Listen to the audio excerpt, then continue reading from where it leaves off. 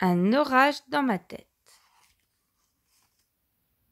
Dehors, il pleut très fort. Je n'ai pas peur de la pluie.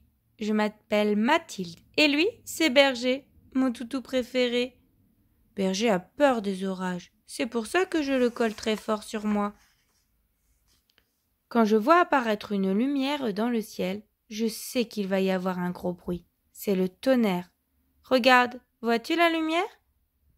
Waouh, quel bel éclair Eh bien, compte avec moi. Un, deux, trois, quatre. Attention, bouge tes oreilles. Berger, lui, n'aime pas du tout le tonnerre. Oh non, c'est tout noir partout dans la maison. Il n'y a plus d'électricité. Papa doit allumer une bougie. Berger ouvre grand ses yeux. Il ne faut pas toucher à la bougerie, c'est très dangereux. Soudain la lumière réapparaît. Je demande à papa. Papa, je peux souffler la bougie? Vas-y, dit papa. Est-ce que je peux faire un souhait comme à mon anniversaire? Bien sûr, Mathilde, dit papa. Veux-tu savoir ce que j'ai souhaité? Approche-toi, mon ami, je vais te dire mon secret. Approche-toi, plus près du livre. Moi, je suis épileptique. Ça veut dire que dans ma tête, quelquefois, il y a des orages. Ça dure quelques secondes et les petites cellules dans ma tête sont toutes énervées. Je pense qu'elles ont peur. Elles ont peur comme berger. Quand il y a un orage dans ma tête, c'est comme si j'étais dans la lune. Je ne bouge plus. Et j'ai les yeux dans les airs. Berger n'aime pas ça quand j'ai des orages dans ma tête. Quand l'orage dans ma tête est passé, je me sens très fatiguée. Quand je suis à l'école et que ça m'arrive, Nicole, mon enseignante, me permet d'aller me reposer sur mon beau coussin avec Berger, mon toutou préféré.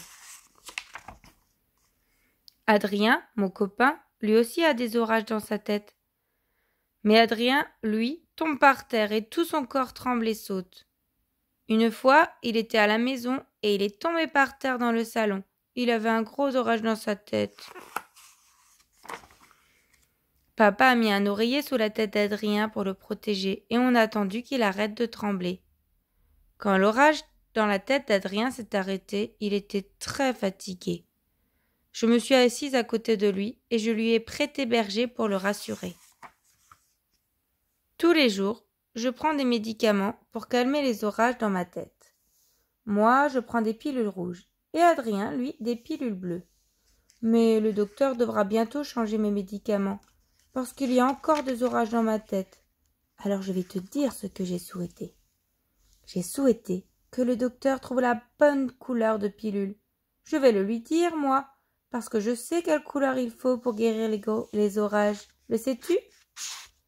Il faut des pilules multicolores, comme un arc-en-ciel.